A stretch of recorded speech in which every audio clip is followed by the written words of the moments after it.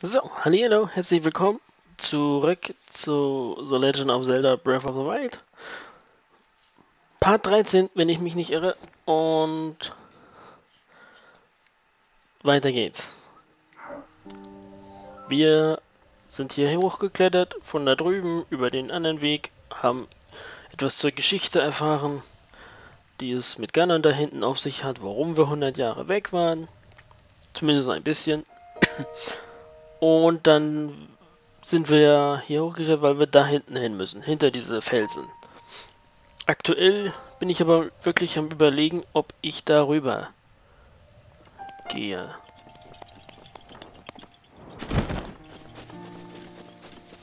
Weil man könnte ja auch auf offiziellem Wege da lang gehen, statt den Bergweg, den wir genommen haben, und dann würde man eh an dem Felsen da vorbeikommen. Also diese Prüfungsstätte, die da vorne ist, meine ich. Auf der Minimap gerade rot markiert. Die würde ich schon ganz gerne mitnehmen und vielleicht den kleinen Umweg auf die andere da hinten. Blau markiert auf der Minimap. Bevor wir da lang gehen. Ich meine, es könnte nützliche Ausrüstung oder äh, neue Fähigkeiten für uns drin sein. Und ich sehe gerade, da unten ist ein schönes Lagerfeuer. Und da sind Gegner. Oh, nein, da sind diese blauen Moblins drin.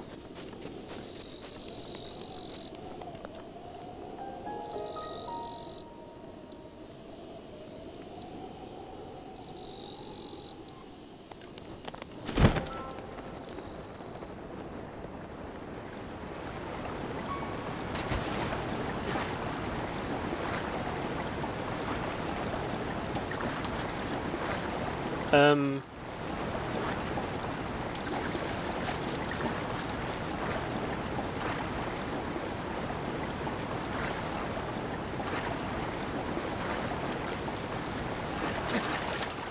Und Link geht unter. Wir wissen aber schon, dass wir dadurch kein Fail, äh, kein, kein äh, Death kriegen. Aber es nützt uns leider so auch nichts. Das heißt, wir müssen über die Brücke. Es sieht so gefährlich aus. Was mich gerade stört, ist aber eher der blaue da unten. Wir haben nämlich immer noch keine gute Ausrüstung.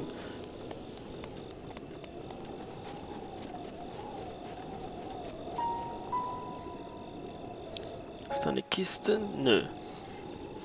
Warte, dann habe ich eine Idee.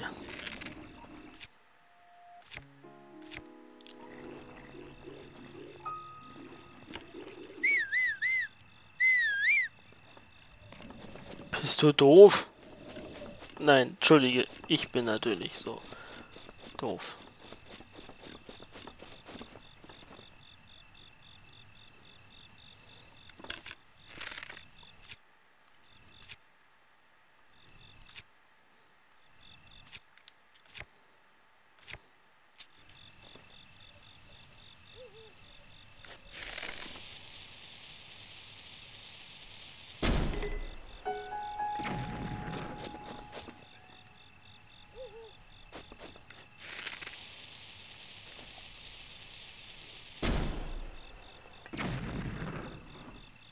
Oh, wie er da wegfliegt. Ich habe nur noch einen davon übrig. Der muss sitzen. Er hat gesessen. Gut. Die anderen beiden Viecher kriege ich ja selber schon platt. Nur den blauen dann ne? nicht.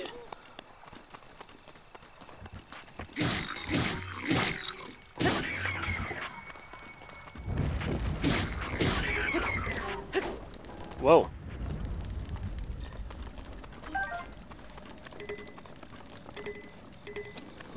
Wurfspeer. Cool. Was ist das? Ein Stachelbockschild. Von einem Bockblin, Bockblin, wie ich schon gesagt, ein Zungenbrecher, gemacht, dem etwas härteres Holz in die Hände fiel. Darüber war er so glücklich, dass er den Schild sogar mit Tierknochen verstärkte. Cool. Das will ich alles mitnehmen. Ähm. Inventar. Den Schild wegwerfen. Ah, warte, die brauche ich nicht mal wegwerfen. Ein Stachelbockstock.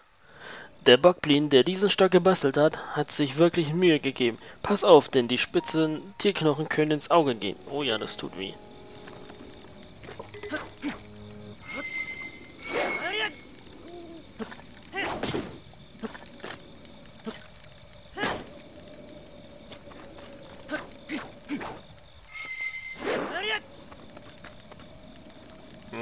Funktioniert nicht so, wie ich wollte. Ich wollte den hier eigentlich kaputt machen, bevor ich den wegwerfe. Fackeln, ich brauche noch ein paar. Hm.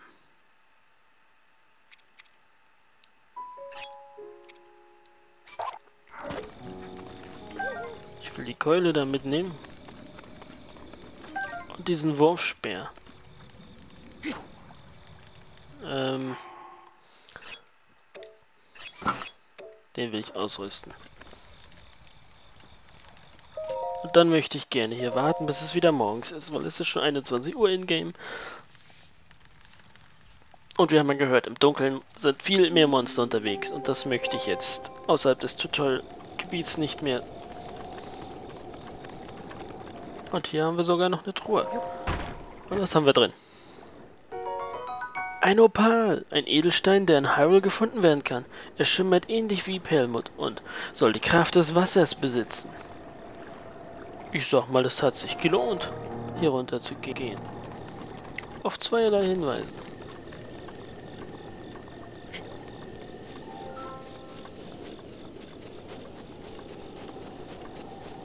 Ja, und hier ist das Feuer, was ich von oben aus gesehen hatte und meinte eigentlich.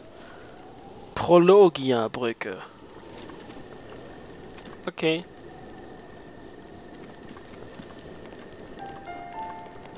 Hey. Da ist eine Person.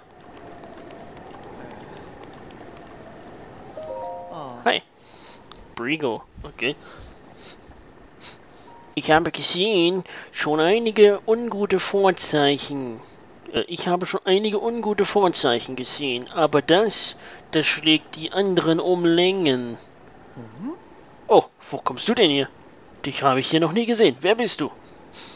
Naja, ist im Grunde ja auch egal. Endlich ist jemand da. Ich habe es satt, mich nur mit mir selbst zu unterhalten. Ich weiß, auch schon zum Thema, äh, schon ein Thema zum Quatschen. Hast du die Gebilde gesehen, die aus dem Boden gekommen sind? Ich bin verantwortlich, sorry. Und ich spreche nicht von den Pilzen oder so. Ich meine die Türme. Anscheinend sind sie im ganzen Land aufgetaucht. Aber das ist ja noch nicht alles. Ganz plötzlich fangen auch all die verlassenen Schreine zu leuchten an. Äh. Du weißt, was das bedeutet, oder? Das Ende der Welt. Aber trotz dieses Trubels habe ich eine Sache weiter im Auge.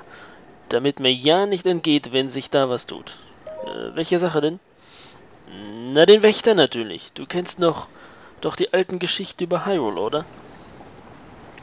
Das Ding dort drüben, das aussieht wie ein, wie ein umgedrehter Krug. Hm. Stimmt jetzt, wo er das sagt? Einmal hat mich einer entdeckt, der sich noch bewegen konnte, und schon steckte ich bis zum Hals in der Klemme.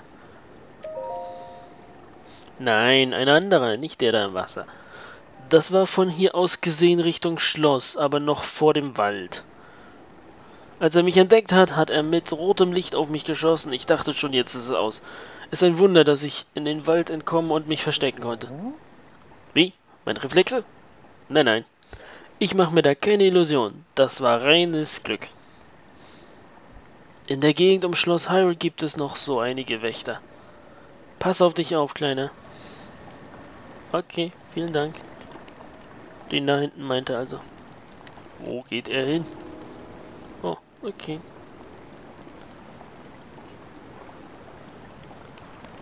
Hm.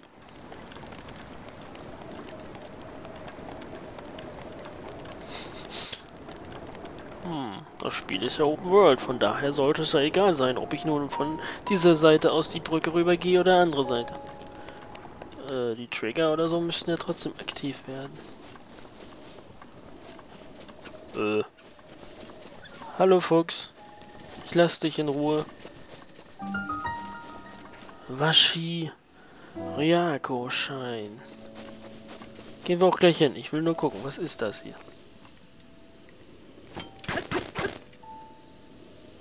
Hm, okay. Das sieht aus wie Kohle. Soll ich hier äh, Kohleminen gehen oder wie? Wir untersuchen den Schrein mal. Denn so haben wir auch einen kleinen Teleporter hierher und kommen auch sofort hier runter. So, nun stellen wir uns einer weiteren Prüfung. Bisschen Zeit haben wir ja noch in diesem Part. Und wie findet ihr das eigentlich, dass ich so an die 20 Minuten immer die Parts mache? Mit Begrüßung und Verabschiedung. Ist für mich ein bisschen Umgewöhnung, weil ich sonst immer nur einfach durchgängig das Projekt aufgenommen und dann aufgeteilt habe, aber die Umstellung ist minimal und irgendwie macht es so auch mehr Spaß. Willkommen, Pilger. Mein Name ist Vashiriako. Im Namen der Göttin Hyla sollst du geprüft werden. Vom Winde verweht. Okay, wir lernen irgendwas über den Wind. Und ich sehe da auch schon Ventilatoren. Im Wasser, äh, im Wasser. Ja, ist klar.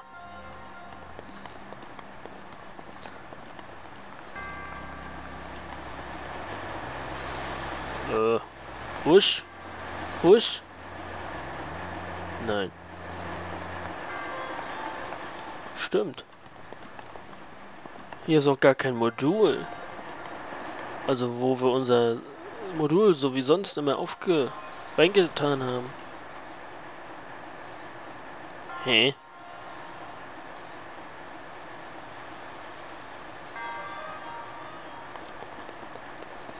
Hä?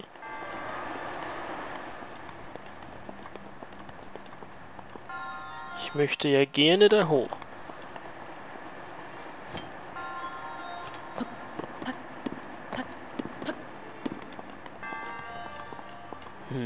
Sag mir nicht, wir können hier nichts machen, weil uns äh, irgendein Gegenstand oder sowas fehlt.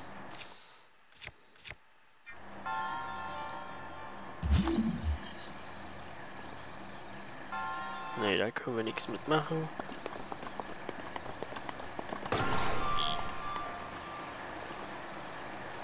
Hier auch nicht.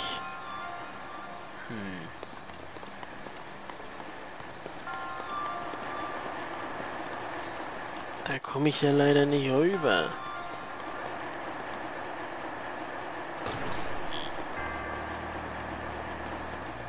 Da unten werde ich sterben, wenn ich da einfach so raufgehe. Oder warte.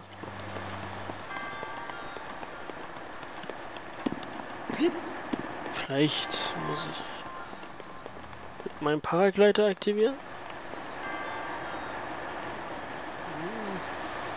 Nee, hier ist bloß die Säule, die mich wieder rausbringt. Hier ist vielleicht stehen und dann...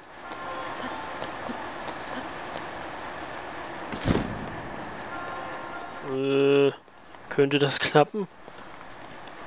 Ich bin mir gerade unschlüssig.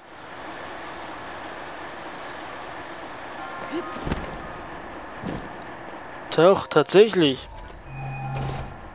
Wow. Ein Bernstein. Hurra! Oh Gott. Oh Gott, oh Gott, oh Gott. Ich bin ja noch gar nicht so geübt in diesem Sprung. Sprungflug. Naja. Ui. Au. Hm. Ich finde es aber interessant, dass der Wind mich überhaupt nicht runterweht, solange ich nicht da oben irgendwo bin. Ähm, wir müssen darüber. Okay. Doch. Doch, wofür ist dieser Weg hier?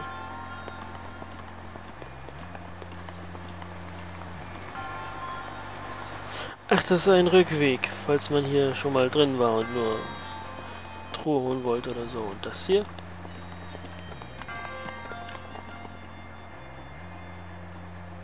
der Weg hier wirkt so komisch. Oh.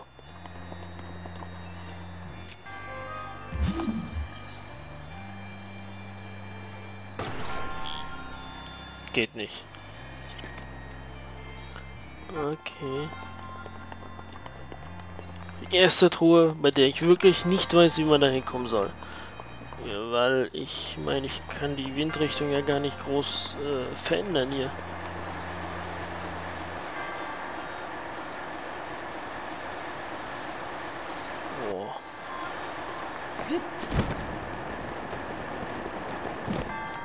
Oh, Glück. Vor allem, soll ich von hier aus da jetzt so rüberfliegen oder wie?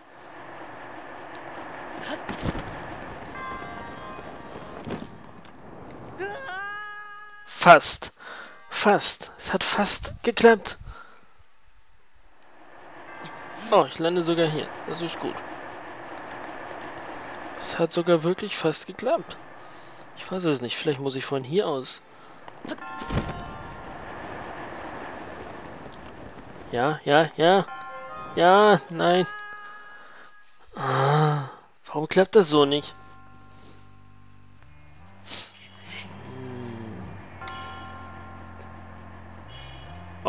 bin fast down. Muss ich von der höheren Plattform. Ah, vielleicht hätte ich gar hätte ich von hier aus da direkt rüber segeln müssen, statt hierher.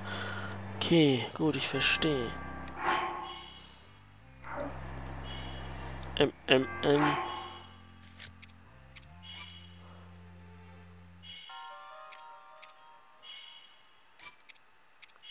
Ich lade mal kurz den Autosave. Regen. Es gibt Tiere und Pflanzen, die sich nur an regnerischen Tagen zeigen. Okay.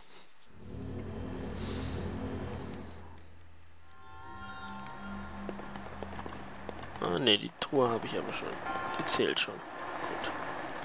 Ich habe nämlich eine Idee.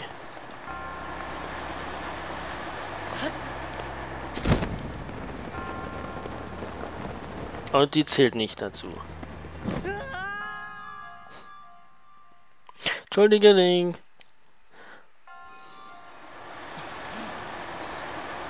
Ha.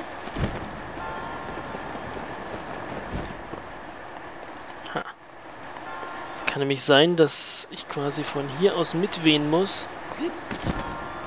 Aber quasi darüber. Hm. Die Truhe ist echt schwer.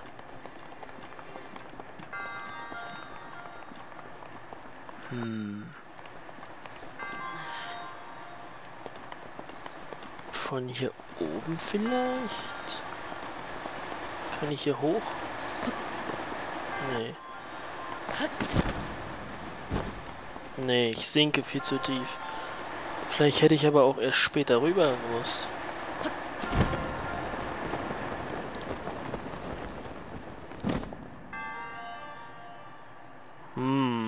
Vielleicht auch sehr viel später. Ich möchte diese Truhe gerne mitnehmen. Wenn ich schon hier in diesem Tempel bin.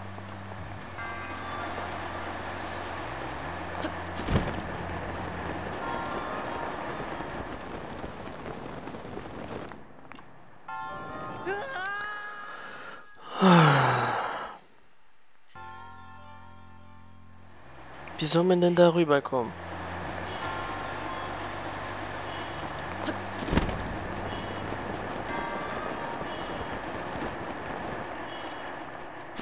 Ähm.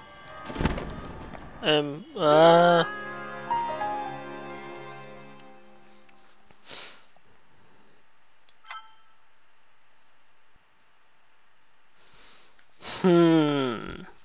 Es bleibt ein Rätsel. Ich weiß nicht, wie ich zu dieser Truhe kommen soll. Ich kann irgendwie nicht so weit fliegen. Beziehungsweise, sobald ich von dem Wind nicht mehr erfasst werde, segle ich quasi geradewegs runter.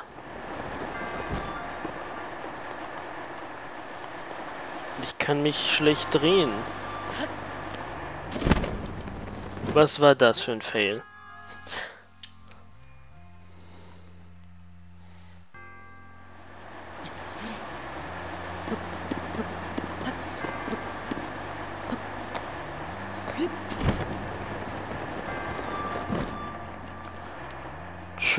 Tja, ist eine gute Frage. Ich weiß echt nicht, Wo kriege ich den Auftrieb her? So direkt.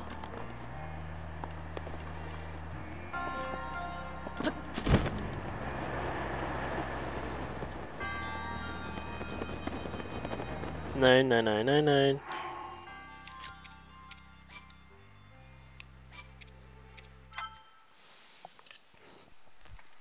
Das wird so nix.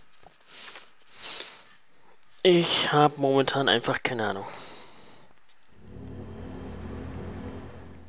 Ich lasse die Truhe jetzt liegen, sonst kommen wir hier nicht weiter. Ich kann mich ja jederzeit hierher teleportieren und wenn mir was eingefallen ist, was ich testen könnte.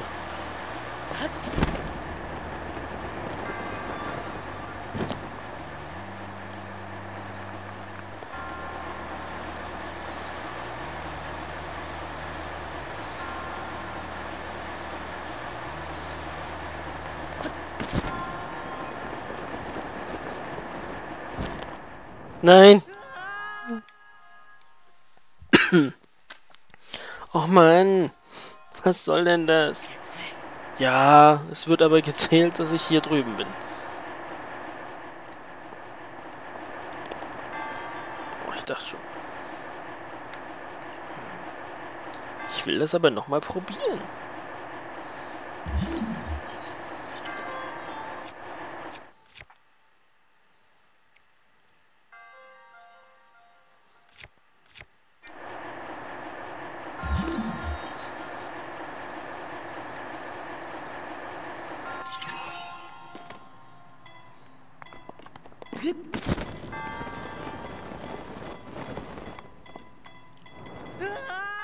Hilft mir leider nichts. Ich kann das zwar anhalten, aber es bringt mir nichts.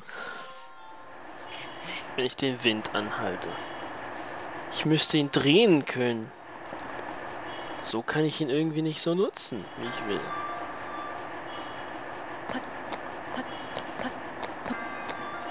Ich verliere... Ich von hier aus kann ich nicht drüber. Ich verliere zu viel Auftrieb. Also ich... Hier gibt es keine höhere Erhöhung. Also ich kann hier nicht irgendwo raufklettern. Das... Oder? Nein. Von hier aus...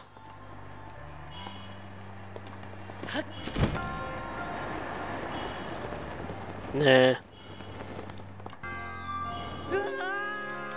Wenn Link sich daran festhalten würde, wäre das okay. Aber das tut er in dem Fall nicht. Sonst hält er sich auch an allem fest. Warum? Was soll das?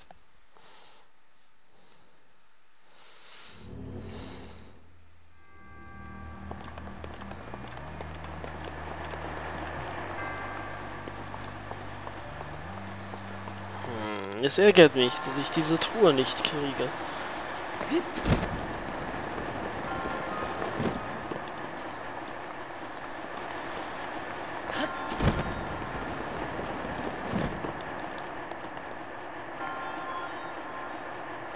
Naja, gut, Truhe, dann bleibst du halt erstmal da. Ne? Dann, ich muss den Part nämlich jetzt beenden. Das mache ich, indem ich äh, unseren Kumpel hier anspreche. Du hast meine Prüfung gemeistert, auch wenn du eine Truhe stehen lässt. Ohne Zweifel bist du der auserwählte Held. Im Namen der Göttin Hylia verleihe ich dir ein Zeichen der Bewährung. Erste, der anders sitzt.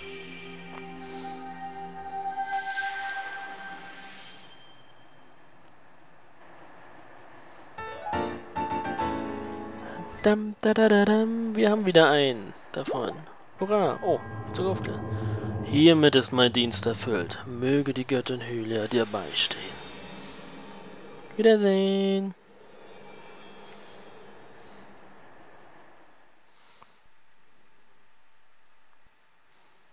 Hm. Tja, ich markiere mir das gleich auf der Karte, dass hier noch eine Truhe drin ist und das müssen wir irgendwann nachholen, wenn ich eine Idee habe. Oder vielleicht besser fliegen kann durch Übung oder so weiter. Was? Nebenaufgaben Xenoblade Chronicles? Was?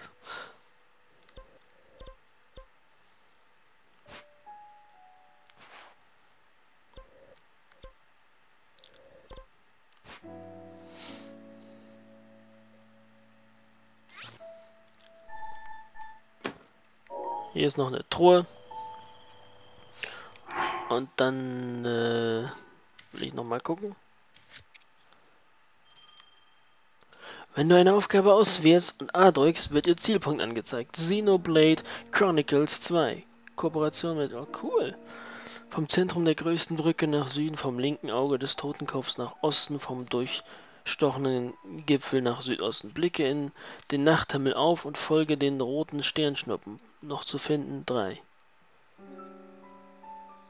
Hä?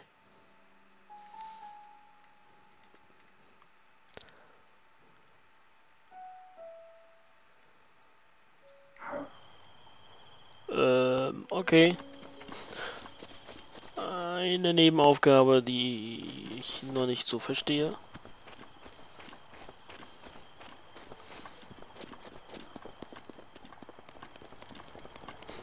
Prologia-Brücke. Schon wieder. Ich weiß noch nicht mal, wo hier Süden und so ist.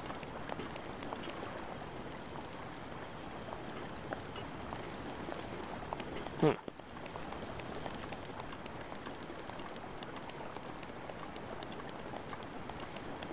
Ich könnte mir vorstellen, dass irgendwann hier auch wieder Wächter rumlaufen.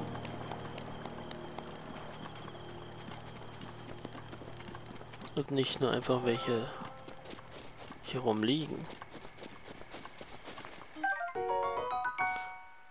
Mal sehen, wofür man diese Schrauben und so braucht. Was haben wir denn hier? Ein Stein, den ich nehmen kann. Äh, bleib mal da. Das sieht aus wie eine Prärie und eine Treppe. Äh, Steppe, meine ich. Da ist auch ein Schaf. Ähm, ein Ziegenbock meinte ich, kein Schaf. Und ach ja, bevor ich hier weitergehe und zu dem Turm da gehe, wollte ich ja den Part beenden. Also, hoffe, es hat euch wieder Spaß gemacht, auch wenn es viele Fates gab. Und die gehören nun mal dazu. Klar, wenn ich jetzt noch zehn weitere Male darunter gefallen wäre, dann müsste ich das rausschneiden, aber so lassen wir das einfach. Ich wünsche euch noch viel Spaß. Hoffe, der Part hat euch trotzdem gefallen. Vielen Dank fürs Zusehen. Bis zum nächsten Mal.